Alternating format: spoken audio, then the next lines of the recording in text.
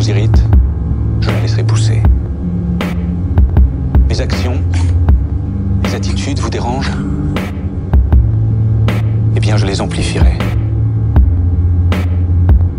Et quand enfin, sous la pluie de vos sarcasmes, je resterai indifférent et que je pourrai enfin être celui que je dois être,